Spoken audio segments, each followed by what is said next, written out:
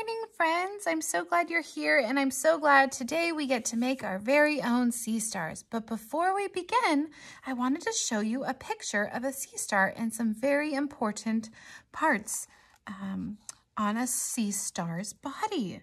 So on a sea star, they have spiny skin to protect the sea star from harm. So I have a sea star right here. He's not alive anymore, and he has this spiny skin to protect himself from harm, from predators. And then on the tips of the arms, they call these the arms, there are little eye spots. This helps the sea star find food. Now, I never knew sea stars have eye spots at the tip of their arms.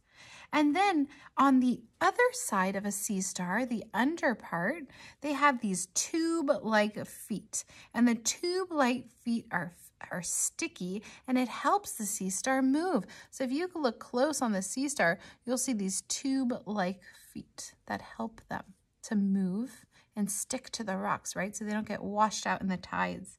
And in the very center of a sea star, the very center is the, is the mouth and it's used to eat. But this one is not like yours. This is not like your mouth. A sea star's stomach pushes its pushes out of its mouth.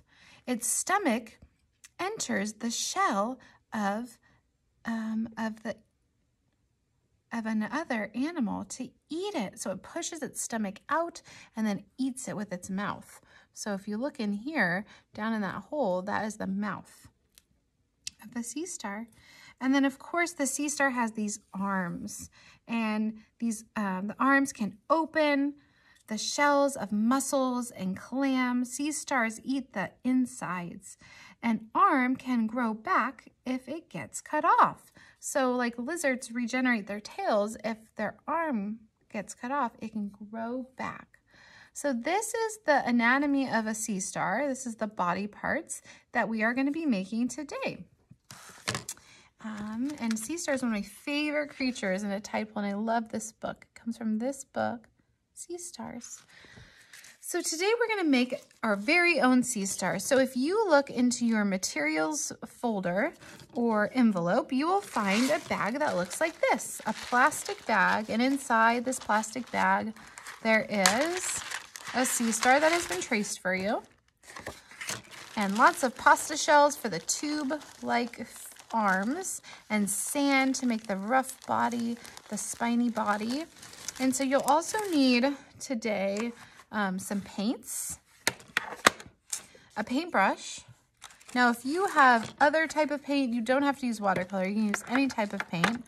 And for some reason, if you don't have paint, you can use crayon or pen to color it in. You're going to need water. My water is turned to orange, you need a thing of water. And then, of course, you need scissors and glue. So pause the video at any time that you need to pause the video and um, just stop. Okay, so grab your materials, and the first thing you're gonna do is you're gonna try to cut along the line of your sea star. Now, for some reason, if you wanna create your own sea star and make an, a larger sea star, a smaller sea star, you are more than welcome to use your own paper. You don't have to use this. And you have so many pasta shells and a lot of sand where you actually can make even more than one sea star for your habitat, your tide pool habitat. And this is a great practice of trying to stay cutting on the lines. And remember, we're not perfect. Miss Cozza has already made so many mistakes cutting on the line, and that's okay. Nothing is perfect. If we notice this sea star, it doesn't look perfect, right? He has some curly, some curly arms that curl. okay, then after you're done, what I'd like you to do is we're gonna paint our sea star. Now, I open my, like that. I first get my paintbrush wet, and then I pick the color I wanna do. Now, don't use too much water because you don't wanna saturate this, that means soak it. We don't wanna soak your sea star because, um, because the more soaked it is, the longer it takes to dry. So you just kind of want a quick coat like this. And then You can pick it up. I just pick mine up like this.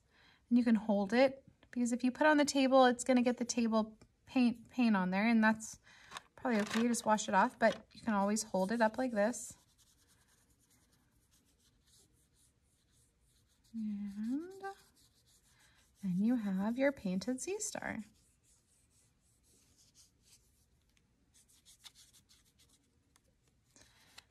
Okay, the next step you want to do is you kind of want to let it dry. So you can kind of air dry it or put it out in the sun. And it might start to curl up. The sides might start to curl a little bit because paper, when it gets wet, kind of curls, and that's okay.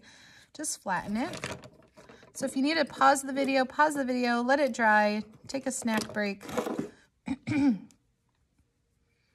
then when it feels dry enough,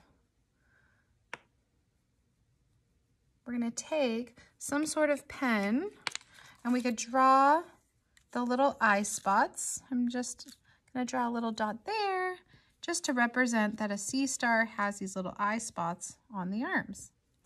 And then in the middle of your sea star is the stomach, the mouth, and the stomach.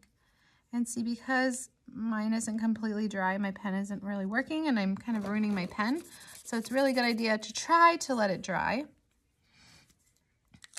And then after, we can glue on the tube-like feet. So right now we're working on the under part of the sea star, the under part.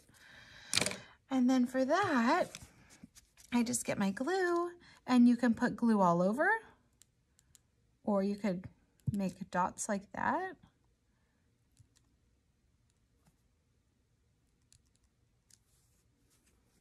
Actually, you know what the best thing to do, I think, is let's take our glue because we also have to get the sand on there. And um, of course, my glue bottle's not working now. Put, you want to put kind of glue all over. And I brush it around with the tip, tip of my um, glue bottle. You always can use your finger and spread it around.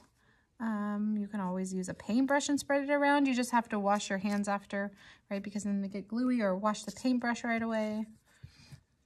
So I have smeared it all around. And the more you smear it, those are the places the sand will catch, right? You don't have to use tons of globs of glue. Remember, a little dab will do ya. You don't need tons of glue. You just need to be able to mix it around. And then you're going to take your pasta shells and one by one, them on. And I try to have it so that the tube, looks like the tube is up, the circle part is up.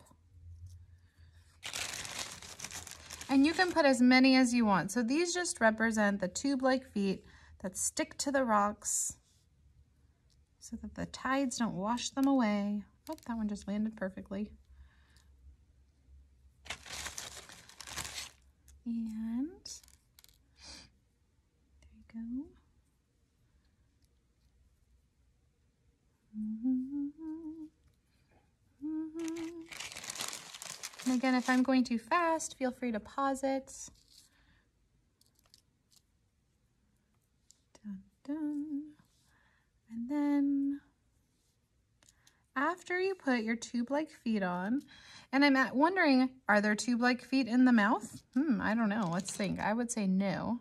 Looks like no. So if we look closely at the sea star, the tube-like feet are all those little like white spots that are going across. so there are no tube-like feet in the mouth. and then when you're done with that, if you're not done, please feel free to pause. And then you're going to take some air sand and I just kind of sprinkle it around to give it that rough kind of sandy texture. Because remember, uh, the sea stars, they have, it's like rough. Go like that. And then you have your sea star. But then don't forget that the sea star has two sides, right? So it has the side with the tube-like feet and the stomach and the mouth. And on this side has this rough kind of texture to protect it from predators, right? Nobody really wants to eat this hard, hard shell. So when this dries, you can flip it over. And mine is not dried, but I'm going to carefully put it down like that so carefully. So now it's almost like a table. And then I could do the same thing Or you can wait till dry, it dries completely to do this other side. Um, because it is challenging. But it's possible. And then you're going to take your sand again and sprinkle it.